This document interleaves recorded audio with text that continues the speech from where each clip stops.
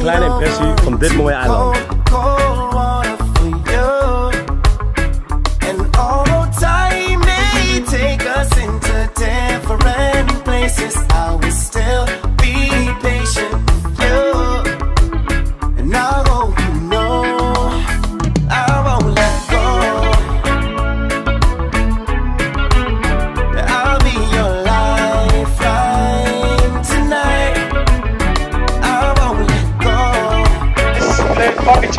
Plek, lekker cocktails, muziekje en I'll s'avonds.